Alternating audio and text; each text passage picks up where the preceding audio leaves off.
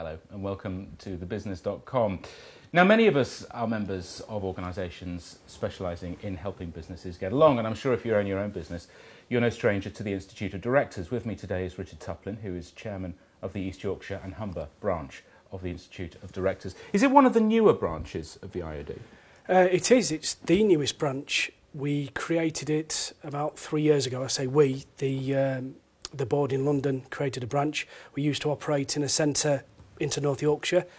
Uh, things went from great to greater, and we're operating our own branch, which is East Yorkshire and the Humber. Nationally, what is the job of the institute? It's representing business leaders. It stands for influencing the policy matters that affect business.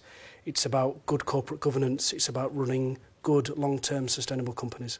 Isn't that what the Chambers of Commerce do, though? No, no. It, everybody has the representation of business, but what we do is we differentiate ourselves by good corporate governance, by influencing at that level and representing our directors firm, not a company's interests. That's the difference. So, what about regionally then? I mean, uh, what do people get regionally as far as the IOD is concerned? I suppose what people generally look for is the networking opportunities. If you go to an institute directors event, chances are you'll be making a, uh, meeting a decision maker. So that's why they go originally.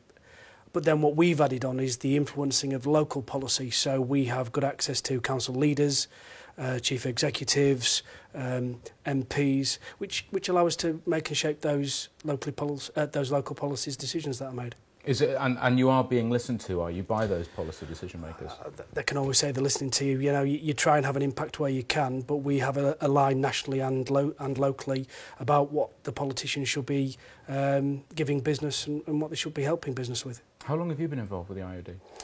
Uh, four years now, which is the grey. Which, clearly, it's taking its effect on you. Uh, why then? Was it you? Were you the driving force behind the, the regional branch? Uh, the local branch, yes. When you've been in there, the IOD is a super brand. It's been uh, since Royal Charter 1909. So, you know, this has got a great credibility and a great weight. And who can not believe in running a sustainable company long term with good governance and um, lobbying and uh, getting MPs to do what business needs. Is there a danger, though, that it can be seen as a bit of an old pals act or old boys club, if you like? Uh, undoubtedly, but you have to ask the question is, is taking the male thing aside, it's all about people. If you don't know the right people, you can't get to where you need to be. So, yes, it is, uh, but it's not exclusive to men. That, that would be my response. Mm. And what's the membership like at the moment locally? It's, I think it's 50 50. You know, the, ladies as business leaders are really punching the, above the weight now, and you can find they're in much positions as men are. So over over the branch, it's really really good uh, representation for men and women. How's it grown over the three years that it's been going? Yeah, very good, really. The recession hit quite hard, and of course that's the point when everybody looks at do you get value for money? Can we afford it? But we held on. We only had a 10% drop in membership, so I was quite pleased, and that's creeping. We've, we've got that that 10% back. So we're creeping onwards and upwards. And people are seeing value in what we do, and we're seen as true business representation. Well, this is the thing, isn't it? I mean, you pay your membership fee, you're going to want some form of return yeah, of on, on that investment as well. Yeah. Eh, how did you cope dealing with membership and trying to keep the membership through the recession? Value for money, what we've said there, Blair, it's all about actions, isn't it? You know, everybody can deliver and say we're going to do this, we say we're going to do that. If you look at what we've delivered year after year at Business Week, the other events, Meet the Cabinet, the question answers panels, the feedback surveys we do, you know, you've got to say that these things speak for themselves so they know it's happening real time and they know they're going to step into that arena and get that value. Is it a constant battle to get new members? Yeah, it is, always is. Uh, what I won't do is we um, we're not an aggressive sales company. You know, you're either going to fit that criteria or not, um, and you'll either want to be in that group or not. So it's up to the individual, but when they do show an interest, we're very active with it. It's, uh, I mean, it's a great title, isn't it? The Institute of Directors. You have the sort of, and you know, the, there are the national office in Pall Mall in yeah. London. It's a very grand building and a very grand address.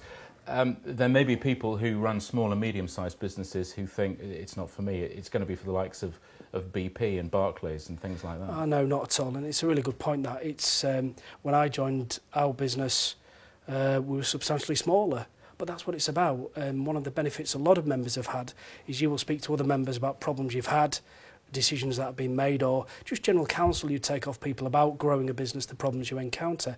And that is incredible value when you think about it. But it, we've got members from uh, one-man bands, limited companies, up to blue-chip PLCs. So there is no restriction on membership at all. And in terms of practical help and advice that you can give people, I mean, if people have tax issues, if people need advice about financing things or insurance. How, can the IOD help in that respect? Yeah, the IOD does help. The legal helplines, the tax helplines are there and their service from London, very reputable. And that's another thing that goes with the IOD, is whatever will be delivered by its brand will be in keeping with its brand. So it is very good service. Where do you see it going from here? I mean, you've got, what, 275, 300 membership at the moment? Yeah, I don't think we've really started. I think we had to prove ourselves in a city that had good um, ways into the chamber and other organisations, and we've punched above our weight. But we now have shown people what we can do. It's now consistently delivering that and showing what we can do more, getting the right people together and doing the right things. Well, long may it continue. Good to see you, Richard. Thank no, you thank very you, much. Richard Tuplin.